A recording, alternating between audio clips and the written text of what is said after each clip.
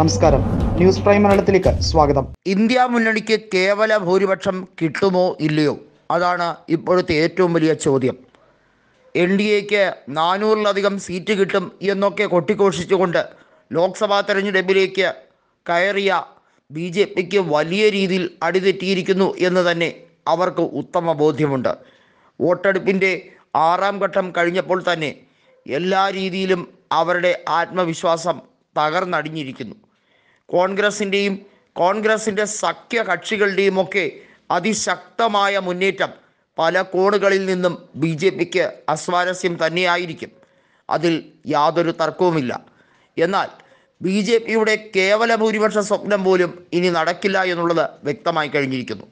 നിങ്ങൾ നാലിൽ മൂന്ന് ഭൂരിപക്ഷം തരൂ ഞങ്ങൾ ഭരണഘടനയെ തന്നെ മാറ്റിമറിക്കാം എന്ന രീതിയിൽ രാജസ്ഥാനിൽ ഒരു ബി ജെ പി സ്ഥാനാർത്ഥി പറഞ്ഞ വാക്കുകൾ അത് എത്രത്തോളം വിവാദകരമായിരുന്നു എന്നുള്ളത് എല്ലാവർക്കും അറിയാവുന്നതാണ്.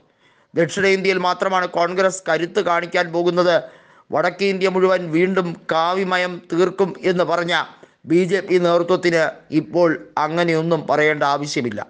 ആർ എസ് എസും ബി ജെ പിയും തമ്മിലുള്ള വലിയ രീതിയിലുള്ള അഭിപ്രായ വ്യത്യാസം ബി ജെ പി നേതൃത്വത്തെ ചുഴറ്റി അടിച്ചിരിക്കുന്നു എന്ന് തന്നെ പറയേണ്ടി വരും. നിഷ്ക്രിയത്വമാണ് ആർ എസ് എസ് എടുത്ത ഒരു ആയുധം. അതായത് ബി ജെ പിയുമായി സഹകരിക്കാതിരിക്കുക. ഒരു തരത്തിലുള്ള പിൻവാങ്ങൽ തന്നെയാണത്.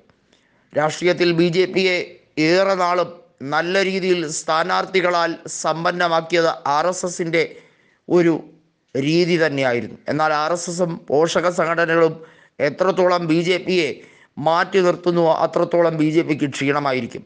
ജെ പി നദ്ദയ്ക്ക് കൃത്യമായി അടിതെറ്റിയിരിക്കുന്നു എന്ന് മനസ്സിലാക്കി കഴിഞ്ഞു.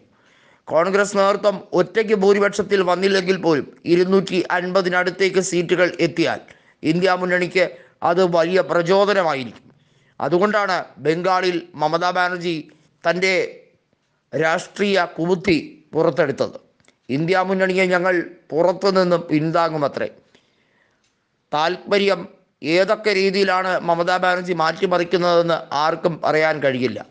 ബി ജെ പി ഒരു നല്ല ഓഫർ കൊടുത്താൽ ഒരു മടിയും കൂടാതെ അവർ പോകും എന്നുള്ളത് കാലാകാലങ്ങളിലായി തെളിയിക്കപ്പെട്ട സത്യം തന്നെയാണ്.